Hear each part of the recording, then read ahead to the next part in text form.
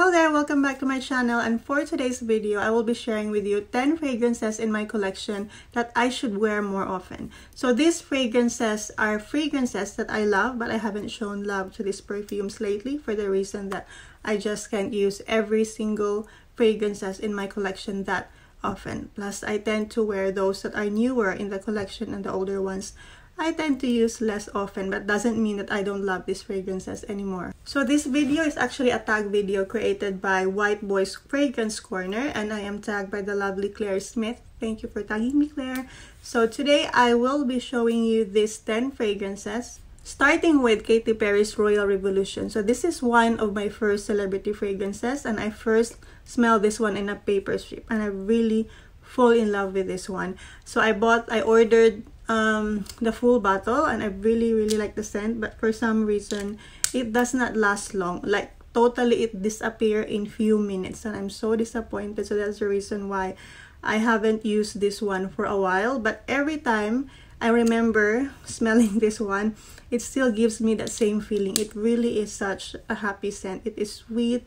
It's creamy. It is a gourmand scent. Actually not unique. It kind of similar to um, Katy Perry's Meow. I like this one better if only it lasts longer. I think this is a little sophisticated compared to Meow. But now that I'm working from home, I could be wearing this one often. Because the reason before is I don't like to bring this one in my purse or in my bag and keep respraying. As you can see, the bottle is big and quite inconvenient to bring this one with you. But now that I'm home, I can wear this and respray this one anytime. So next is another Katy Perry perfume and this one is So I got this one together with Meow as they have like um, same bottle except that one is pink but I tend to wear that one more often than this. But this one actually has an underrated scent. Perhaps you can't take this one seriously because of the bottle but I'm actually surprised with the scent. This one is not as juvenile smelling as Meow. I love the opening. It's delightful. It has that fresh, clean scent like a shampoo or soapy vibe and in the dry down you'll get the coconut and vanilla scent. The next one is La Nuit de Bohème by Anna Sui. This one has such a beautiful bottle. So I got this one earlier this year and I've been wearing this perfume since I got this one but lately I haven't been wearing this one as usual like other of my perfume but this one every time I smell this it's the same um same impression as the first time I really love it. I find this one clean and soapy and a little creamy as well. It isn't sweet at all. This one has an oud in it, but the oud isn't that strong. It has that rose and oud scent, but not sweet because I do have some perfume with oud and rose and has that a bit of gourmand or sweet in the dry down, but this one is not. It's clean, it's soapy. It would make me imagine like a creamy bath um, liquid soap. It has that cool, comforting scent. I would love wearing this one on a summer night or even in the colder weather. So next is Michael Kors Sexy Ruby. So I seldom wear this perfume. I find this one like an odd scent but quite unique in my collection. That's why I like it. I don't love love this perfume but I do like to wear this one from time to time. Every time I smell this one I find it unique and odd. Sometimes I want to wear it when I'm in the mood of wearing such unique and odd scent. This one has a raspberry apricot in the opening, but it isn't a fruity scent like other raspberry um, perfumes. But this one has like that leathery but bit of sweetness in there as well. The cashmere wood is actually quite dominant in this perfume. It has that leathery scent, sweet, a little bit musky as well and powdery. It has like a bit of like a vintage vibe in it. Perhaps that's the reason why I don't wear this one too often because I'm not really into vintage scent. I'd love to wear this one more often. I feel like this is a unique scent. Next is Love by Sofia Vergara and this one is definitely a love for me but I haven't been wearing this one for a while now but I am looking forward to wear this one often as winter is coming. Actually it already feels winter now. I find this one another gourmand scent that is comforting in a colder weather. So this one is was um, compared to Black Opium before, but actually I don't find them similar. It has a coffee like Black Opium, but this one I find this one sweeter. This reminds me of a jelly or like a jam donut. It has a berry, fruity, creamy, jammy scent. Although it doesn't have a berry in the note, but that's what I'm getting. And the coffee in here is just in the background. I don't get much coffee in it. Plus projection, projection. Plus projection and longevity is really good. It lasts long, it projects well, it definitely deserves more love and attention. So next is another celebrity fragrance. I actually have more celebrity fragrance. I just realized now that I haven't been wearing often these days. But these were my favorite and they are still my favorite until now. So this one is Jessica Simpson's Fancy, one of my most worn fragrances before.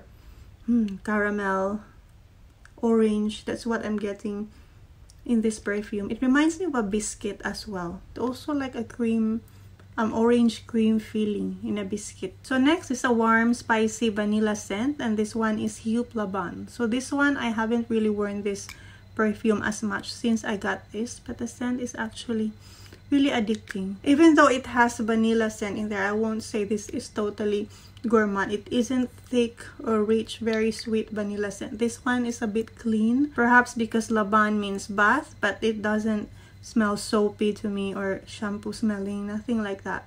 But it smells clean. I like that it's spicy, but not spicy like sharp or offensive to the nose. And I like that it is warm and I find this one relaxing as well. So I like to wear this one during bedtime. Next is Crush by Rihanna. This is like my all-time favorite celebrity scent. I love not because of the scent, but because of the nostalgic um, vibe that's giving me. This is my first or one of my first perfume before I started my perfume collection and I wore this one non-stop. So I associated this one a lot of events and happenings in my life as well.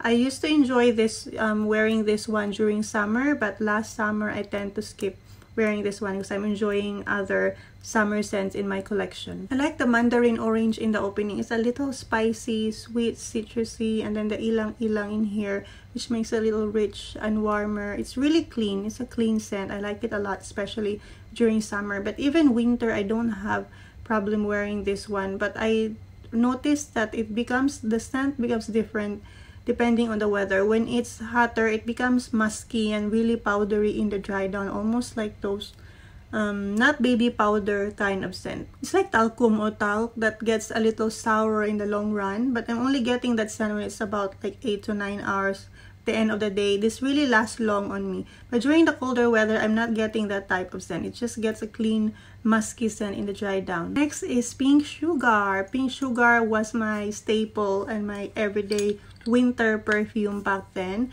But then recently, I haven't been wearing this one since last year. Now it's gonna be winter again, so we'll see.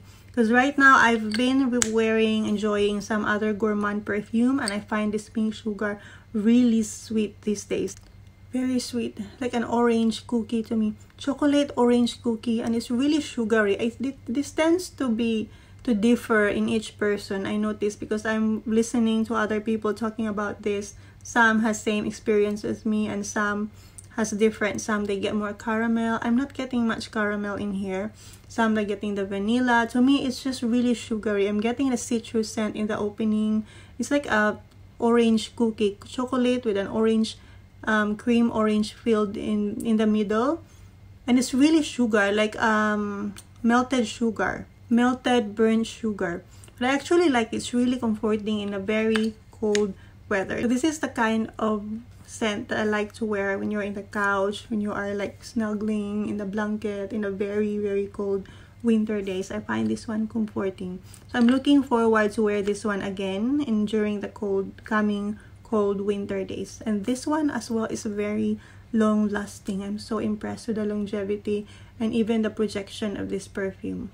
Last but not the least is Lovely by Sarah Jessica Parker. So this was one of my um, go-to perfume before, like my everyday scent. I really like this one. I find this one clean. And, on, and one of the very few fragrances with lavender that I like. Because I'm not really a fan of lavender in a perfume. I find them like an herbal. They're giving me like an herbal scent, which I don't like. But this one, I don't get any herbal um, scent in this perfume. The opening is quite strong and woody, but as it dries down, it becomes lighter and it's clean. Reminds me of a clean linen. I like those types of scent. I like the cute bottle. This is a 30 ml. It's very handy, very neat looking. I like it though.